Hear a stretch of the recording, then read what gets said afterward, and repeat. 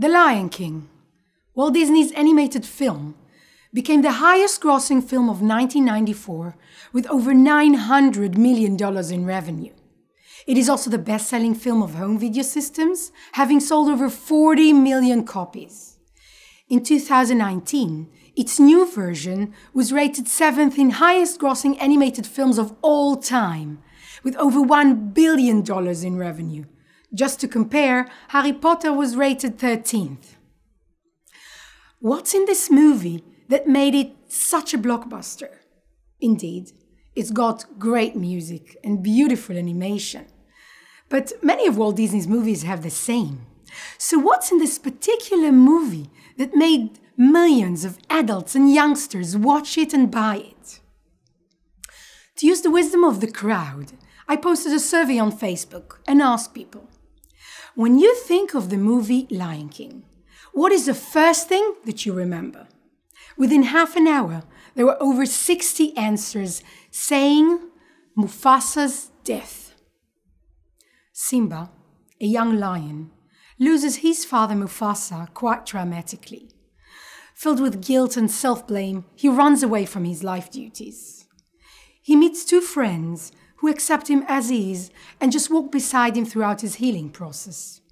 Then, he meets Rafiki, a spiritual mentor, who tells him that his father's spirit actually lives inside him, which helps him reconnect with his father and ultimately with himself. He then returns strengthened to face his real life challenges.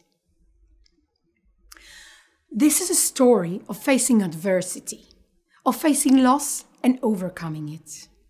I think the reason Lion King is such a great success is because it tells a story we all share the circle of life.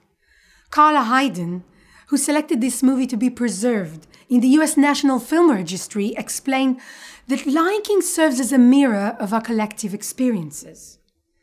But though death is an experience that will inevitably happen to all of us, we avoid talking about it to our children. Wishing to protect them, we don't mention the pain and sorrow inherent in life. We'd much rather tell them about the prince and princess living happily ever after. So I returned to Facebook and asked people, at what age did you first watch The Lion King? The average answer was five. Whether we like it or not, children are exposed to the concept of loss and death from a very early age.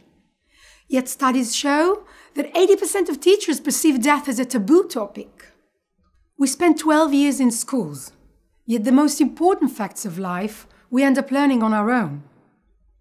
In June 2006, exactly 15 years ago, I ended up learning on my own how to deal with loss. I was a young woman, nine months pregnant, with my second child, when I went through a stillbirth, which is the death of a fetus in late stages of pregnancy or during birth. It happened so suddenly and unexpectedly that I found myself completely overwhelmed. I found myself wondering Am I allowed to grieve? Was this a real baby? How do you grieve over someone you, you never really knew in the traditional way? I felt confused, shocked, and surprisingly guilty. Now, I was an adult when it happened. Just imagine what a child might go through. According to the Childhood Bereavement Estimation Model, one in 14 children in the US will experience the death of a loved one by the age of 18. That equates to more than 5 million school age children in the US alone. And this is even without calculating the high COVID 19 mortality rates in the past year. The Harvard University Center on the Developing Child has found that grieving children are at risk of disrupted development, including mental health issues, decreased academic performance, impaired social relationships, reduced self esteem, and even high mortality rates. But grief related protective factors can help, such as a caring community, peer support, and encouraging educators. Do students actually receive support? Are teachers well trained to provide it? A report published in 2019 reviewed 20 years of research on bereaved students with a focus on support from schools. It indicated some disturbing findings. Bereaved students often said they were not provided with sufficient support from schools. For instance, Martin Lytje's research, Voices That Want to Be Heard, described students' suggestions for improving the school bereavement response. One suggestion described students' needs for teacher support when they reconnect with their classmate after returning to schools. Another one mentioned the need for schools to see the loss as a life changing event and the grief as something that does not simply disappear after a few months. As for teachers, studies indicate that they don't feel adequately qualified to deal with, with bereaved students. They wish to support their students, but feel unsure how to do so, are afraid of doing something wrong or saying something wrong and hurting them, and therefore many times say nothing. When teachers avoid talking to students about their loss, the result is that students are left to grieve on their own. A survey conducted by the American Federation of Teachers and the New York Life Foundation revealed that nearly 70% of teachers reported having at least one grieving student currently in their classroom, whereas only 7% of them reported receiving any kind of bereavement training. About 90% of teachers reported the need to receive more training on how to support grieving students.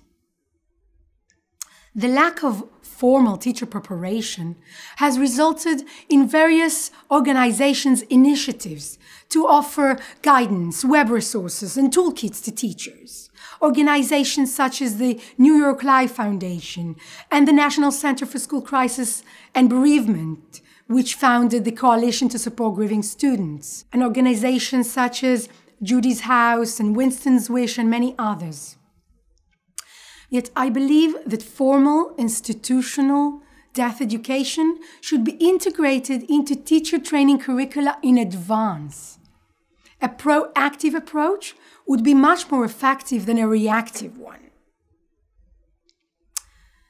Some may say, you know what, we'll cross the bridge when we get to it. Well, policymakers in education have decided to include issues such as ADHD and learning disabilities in the curricula, assuming the teachers will encounter these situations in the classroom. Why does the issue of death education has no room in teachers' curricula when we know that the risk of having a child, a bereaved child in the classroom, is no lower than having a child with ADHD?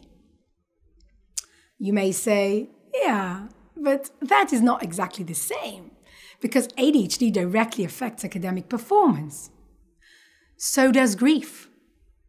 Grieving children are at risk of decreased academic performance and constantly report that their ability to concentrate is impaired, not due to a neurological organic causes in ADHD, but due to an emotional distraction. One may ask, why train teachers? Isn't that a job for school counselors or psychologists? Well, school counselors indeed provide invaluable first aid intervention in these cases. But teachers are the ones who continuously engage with students on a daily basis.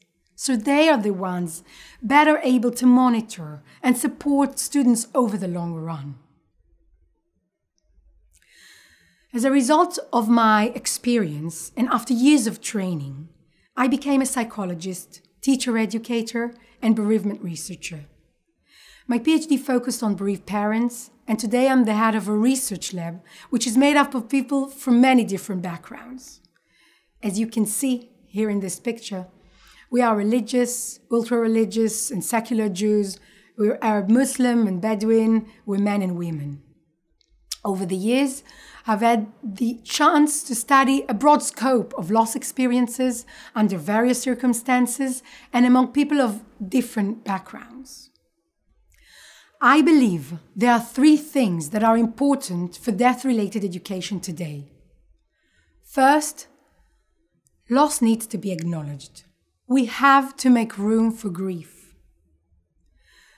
When I first visited the cemetery where my stillborn baby is buried, I was amazed by a unique memorial area, including many walls like the ones you see in this picture.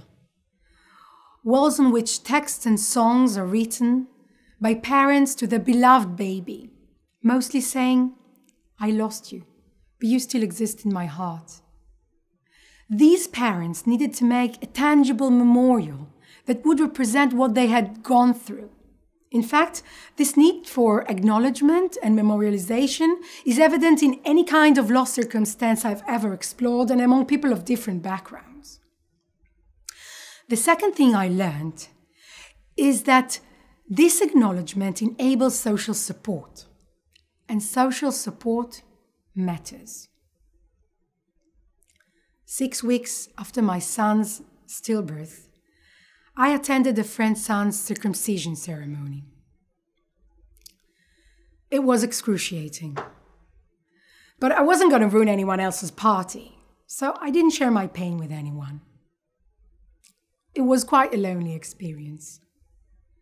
All of a sudden, my sister in law touched my shoulder and whispered, Are you okay? This comment meant the world to me. I felt like she was saying to me, I can imagine your pain. I see you. And I care. It was as if I had been carrying heavy luggage on my back when suddenly someone offered to help. Acknowledgement enables social support not only because you can't support someone if you don't acknowledge the loss, but also because acknowledgement itself is part of supporting. And this leads me to my third and last point. Coping with grief and supporting a grieving person needs to be taught. When facing a new situation, all of us search for information.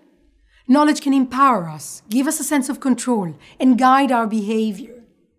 So, educating teachers about loss and grief will enable them to better support their students, to acknowledge the loss, and to provide them with essential information. It may also assist non grieving students by enabling them to process their own feelings and thoughts arising from being exposed to the concept of death. Furthermore, teachers' explanation can help mediate the reconnection between the bereaved student and the peers, enabling the peers to better support the classmate. It's a win win situation. Viktor Frankl, who survived the Holocaust and founded logotherapy, once said When we are no longer able to change a situation, we are challenged to change ourselves. We can't change the fact that death happens, but we can change our mindset and we can change the way we train teachers to respond.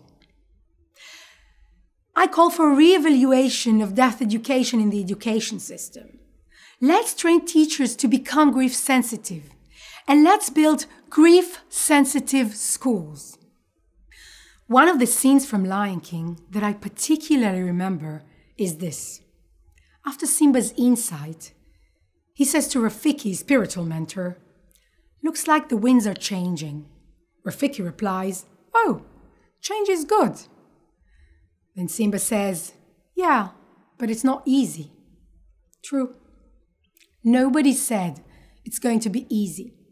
But I'm certain that making this change of inserting death education into teacher training would be one that is definitely worth it. So, let the winds of change start blowing. Thank you.